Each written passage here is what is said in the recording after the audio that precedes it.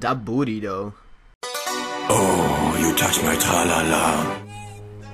Still fucking sick. The Atlas looks ridiculously bad.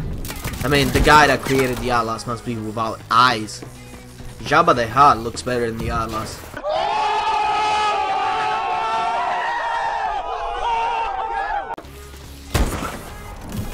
Oh my god, dude, you fucking kidding me.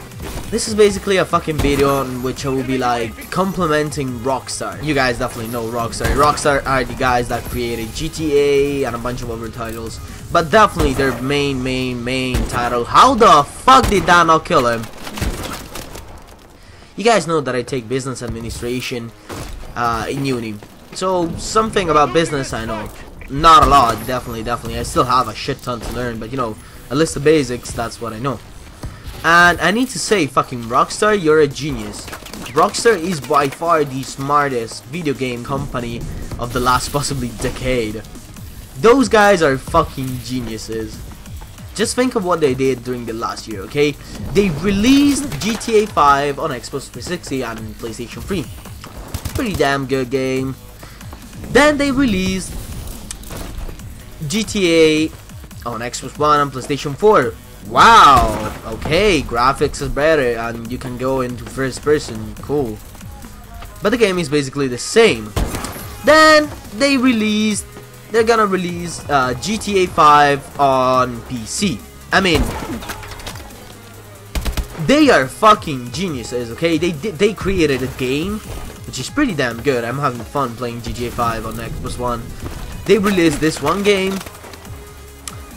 and they per perfectly understood what the different customers want. Customers that have the Xbox One, customers that have the Xbox 360, and customers that have PC.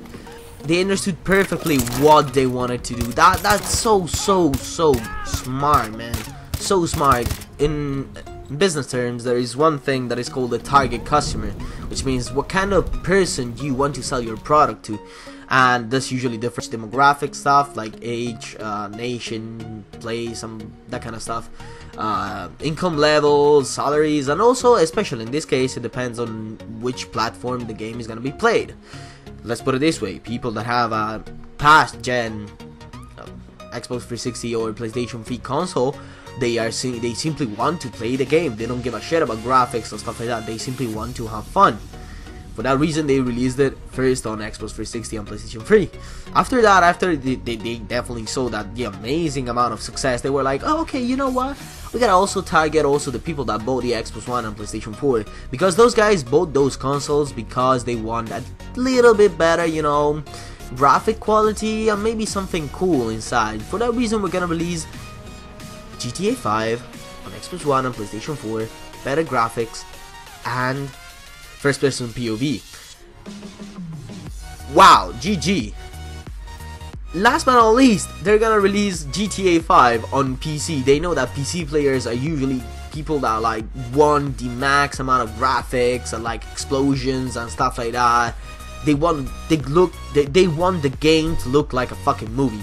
For that reason, they're gonna release the GTA 5 on console, this uh, sorry, on PC, the exact way it, it, has been released on console, on Xbox One and Xbox 360. Although, and here is what will get all the PC players to buy GTA 5: you will get access to mods, which on PC is like the modding community around GT, GTA series is fucking huge on PC, bro.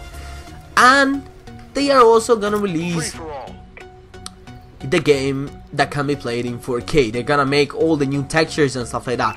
They understood exactly, exactly what you know the different customers, the different target types wanted. How the fuck did I spawn here? I feel sorry for dude. How the fuck did he spawn there? People are rockstar, dude. You guys are fucking geniuses. Whoever you know took care of the marketing campaign and that kind of good stuff He's a fucking genius, a businessman with the B.